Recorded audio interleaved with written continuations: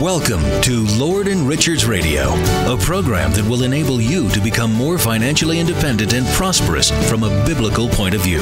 Tune in each week to learn how to prosper through good markets and bad. Now, here's our host, Colin Richards, Denver's biblical investment advisor. Hi, friends. I'm glad to be with you today on Lord and Richards Radio. I'm Colin Richards founder and president of Lord and Richards. We're a team of advisors who are dedicated to helping people just like you retire financially independent. And we're doing that every single day. On this show, we're discussing investing and planning from the perspective of key biblical principles, a little bit different way of looking at money. We also talk about how to use methods and strategies that will enable you to prosper through both up and down markets. And that's so important in today's volatile world. I'd love to chat with you. My team and I would love to help you, talk to you about your specific questions regarding retirement and saving and investing from a biblical point of view. Just pick up the phone and give us a call at 720 372 0400. Again, that's 720 372 0400. I'd love to chat. Or check us out on the web at lordandrichards.com. Well, today we're going to be picking up the conversation that we started last week on the subject of the coming tax storm. And the title was Render Unto Caesar. And uh, last week we based our time tested advice upon the Word of God. Matthew 22 21 says, Render therefore unto Caesar the things which are Caesar's, and unto God the things that are gods. And our principle that we extract, extracted from that was yes, we're to pay our taxes. We're absolutely supposed to obey the law. We're supposed to be good citizens. We're expected to contribute to uh, what the government does for the, the health and welfare of our country. All of those things are correct. So pay the taxes you owe, but preserve what's God's. Pay the taxes you owe, but preserve what's God's. Because a lot of times this verse tends to get quoted halfway through render unto Caesar, right? And we forget to say, but also render unto God the things that are God's. And of course, that's our life, our time, our talents, our treasure, all of it. But specifically here, the application I'm making is that yes, the taxes need to be paid to your local, your state, your federal government. Those things are Caesar's, right? We live here under the laws of this land. But if we overpay those taxes, if we aren't careful stewards such that we fully understand the law or work with people who do, and therefore avoid overpaying taxes, if we don't do that, we're going to wind up taking what's God's and giving it to the government. And that was never what our Lord intended when he said this phrase. He didn't intend for you to take what could be used for the kingdom of heaven, for the glory of God through your life, and to give that to the government. That's really not his intent. His intent is no, don't do that. Give to Caesar what belongs to him and not one cent more. And that's our philosophy here at Lord and Richards. We want to help you become financially independent. And part of that process of developing a comprehensive plan is to have a written tax plan. Do you have that? Do you have a written tax plan? You say, well, you know, I, I pay my taxes, I contribute to my 401k, etc.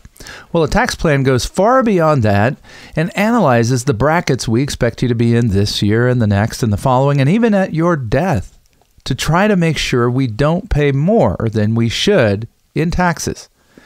Here's why we do what we do. Most people we meet, just like you, are worried that events out of your control, things like tax changes, tax law changes, are going to harm your retirement.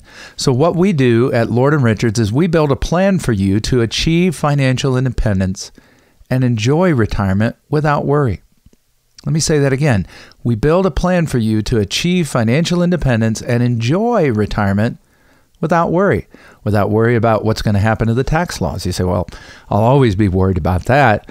Well, did you know that you can build a plan and you can implement a plan that helps you be insulated from future tax law changes? We're going to be talking about that today. So today's subject again is render unto Caesar, the idea being don't overpay taxes, but certainly pay your taxes, making sure that the resources God has entrusted to you are used for what they're intended His glory, His kingdom. And so we're talking about what's going on right now where Caesar has gotten a little greedy. And we see that we are very likely to see some drastic and dramatic changes in our tax code. We talked about that last time. Uh, there's an effort afoot to repeal the Tax Cuts and Jobs Act. That was a big boon to American citizens as well as to businesses. And that is going to expire anyway after 2025, reverting us back to the old higher tax brackets. Wow. Eliminating the step up in basis. So you inherit a home, now you got to pay taxes on it. You inherit some stock, you got to pay taxes on it. Raising the corporate tax rate. You may not be too worried about that if you're not a business owner, but let me just say that gets passed somewhere. You might assume that all the executives are going to take a pay cut. It's not really how it works. Okay. What's likely to happen is that's going to get passed on in consumer prices, and we're going to see inflation and um, a uh, an additional layer of audits right? Enforcement designed you know the government considers enforcement an investment. They spend a certain amount of money to pay their auditors.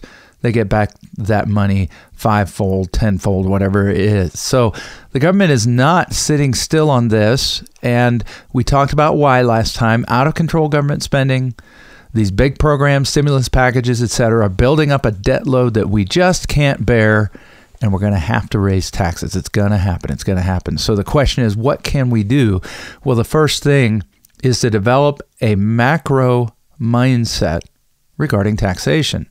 What do you mean, Colin? Well, a micro ma- mindset would be the opposite of that, where we're talking about short term focus. Okay, I'm going to contribute to my 401k or my IRA so that I get a tax deduction now. Well, let me ask you a question. Do you really need a tax deduction now? Well, you say, I'm, I'm trying to save taxes, right? Well, but wait a minute. If taxes are low right now, are you sure that you want to sacrifice future for present? Macro for micro. Macro steps back and says, wait a minute. If I'm saving taxes now while taxes are low, is that going to come home to roost later when taxes are high? Yeah, so micro view focuses on the current year taxes. It tends to be the way our tax preparers and CPAs think. A macro view focuses on the lifetime taxes you're going to pay. Well, what does that look like? And what are we going to do when the tax rates changes? Are, are we prepared? Do we have money that we can pull during those years that's not taxable? And on and on. And that becomes the focus of a written tax mitigation plan. Do you have one? You know, it's interesting. Ronald Reagan had a plan. I don't know if it was written down or not, but back when he was in his early days of making movies, he would make about $100,000 a movie. And he only did two movies a year. You say, well, I mean, back in the in the old days, that was probably a lot of money. It sure was. So he only worked about six months out of the year. But see, the post war era, the top tax bracket was 90%. FDR was proposing 100% over $25,000.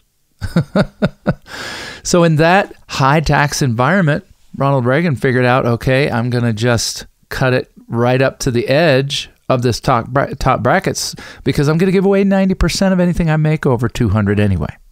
Fascinating, fascinating. Um, that is a plan of sorts. Our idea at Lord and Richards is not for you to have a plan that results in you, you know, having to cut back on your opportunity to earn income. As a matter of fact, we have a process called a financial independence review. And that just begins with connecting with us over the phone, chatting with us about your current situation and how we might be able to help. And that financial independence review has helped so many people take a step forward in their retirement security so they could enjoy retirement without worry. So if you've just jumped in, you're listening to the Lord and Richards show. I'm Colin Richards, Denver's biblical investment advisor, and I and my team would love to help you to chat with you over the phone about how you can take control of your financial future through our financial independence review. Just pick up the phone and give us a call at 720 372 0400. Again, that's 720 372 0400. I'd love to chat. Or check us out online at lordandrichards.com. So, we're continuing our discussion on the title of our show here Render Unto Caesar. The idea being pay your taxes, but just what you owe, not more, so that you can also render unto God what is God's. And we're talking about the current threat to that, which is what we're calling the coming tax storm. And what do we mean? Well, this buildup of expenditures has re- resulted in an attitude of government which is almost universally now moving towards higher taxes. So, here are some strategies and workarounds that you can implement today, right now, if you want to avoid the coming tax storm or at least mitigate the effect of the high likelihood of rising taxes. So, the first is you need to develop a plan to deal with what we call tax volatility. Tax volatility. Now, tax volatility is just another form of volatility that our clients face at Lord and Richards. So we're helping people like you every single day to address volatility in your plan and in your portfolio. And most of the time when we talk about volatility, we're talking about market volatility, right? Oh, stock market's down, stock market's up. Oh, it's back down. Oh, it's back up. That's volatility. Well, what we're talking about here isn't stock market volatility, it's tax volatility. Tax volatility simply means that the government keeps changing the rules. The government keeps changing the rules, leaving those who are trying to build a plan for their financial future on the back foot, at a disadvantage, right? Because today's plans for tax mitigation may not work tomorrow. So, a tax plan and a financial independence plan must include a tax volatility plan. You need to look at it this way you need to look at your assets location as well as its allocation. you say, Colin, now you're being confusing. Well, let me define the terms. Allocation, asset allocation is something you hear a lot, and it's involved together with the principle of diversification. You know, we use all these big fancy words, but to diversify means just to spread out your investments among different opportunities which means to buy stock, to buy bonds, to buy real estate, gold, so forth. 16, 16 different asset classes we can diversify among using the principle of allocation, asset allocation. But asset location is different. Asset location means what types of accounts, taxable, tax free, tax deferred, what types of different accounts should I have so that I'm prepared for the constant changes in taxation. So there are four general buckets that become your sources of income during different kinds of tax environments. Taxable accounts, those are accounts that are taxed as we go. Tax deferred accounts, those are accounts that are taxed when you withdraw money. Capital gains taxed accounts, these are investments that are held either short or long term. They're not in IRAs or 401ks. They're not tax deferred. They are taxed based on a separate system of taxation called capital gains. Short term capital gains currently are taxed at ordinary income rates. So it's pretty much like a taxable account. Long term capital gains are favorable, topping out at 20% currently, but we expect the government to start tinkering with that too. So we need a bucket for those kinds of assets. And then the one that's most um, underrepresented is the tax free bucket. The tax free bucket is my favorite bucket. People ask me all the time, Colin, should I be contributing uh, the maximum amount I can to my 401k? And that depends. But here's my short answer. If if your favorite kind of money, like mine, is free money, Okay, contribute up to the max. That's my favorite kind of money, free money. So you put in a dollar, your company puts in a dollar or 50 cents, whatever it is.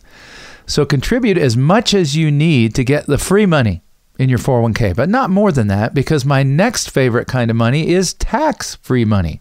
And contributions beyond that should go into tax free vehicles. Now, sometimes you can do that in a 401k. It's called a Roth 401k.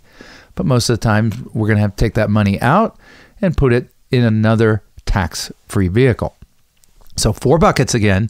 This is your tax volatility solution. Number one, a taxable bucket, just normal money growing taxed as it goes, 1099 interest, and so on.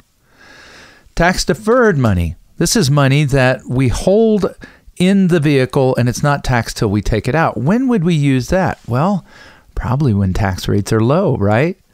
Or when we can manage our income down to a, low reported level. I'm not talking about living in poverty.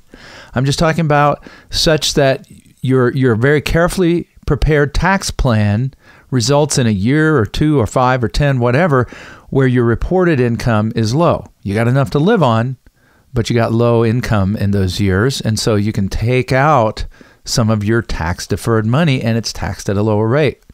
You say, "Oh, I thought I thought when I retired, you know, my all my brackets would be lower because now I'm retired." No, that's not true. As I meet with my clients just like you every day, they're continuing to live their lives and here's a quick principle. When do you spend the most money during your working years in terms of days of the week? Well, I find most of my clients say, well, that tends to be on weekends. Well, guess what retirement is? It's a lot of weekend. and so often my clients' budget goes up for things like travel, gifts, and so on, hobbies. So we don't want to assume we'll be in a lower bracket. That is the failed assumption behind most 401k tax deferred giving or con- contributing, and that includes your IRAs. So we call it a tax bomb because depending on what rates are when you take it out, you might be paying more than when you were working. So we're re- really not sure of that. So we need to have a bucket that offsets that, and that's a bucket called the capital gains bucket. And when we withdraw money from this bucket, money that has accumulated what we call long term capital gains, we're subject to traditionally a much lower bracket. If you're a high earner, capital gains taxes are favorable compared to ordinary income taxes. So we need that bucket during periods of high taxes. Or, once again, my favorite kind of money is free money. My second favorite kind of money is tax free money. And that's the fourth bucket. If you can get ahead of the game, you could even now, I'm talking to my listeners now who are in their 50s and younger, maybe early 60s, but if you can get ahead of the game, you can actually take your entire retirement off of the tax radar. That's right. You could literally have a tax free retirement. We do this all the time. How do you do that? Well, you start early. And if you're if you're not early but you could you've still got a little bit of time before retirement, you can convert taxable assets to tax free. We'll talk about that more later. So there's a lot of options, but it starts with getting this set up right. You want these four buckets taxable, tax deferred, long term capital gains, and tax free money. Now, what traditionally are is in each of those back buckets? Well, taxable, that's your pension income, short term gains, stock dividends, and so forth.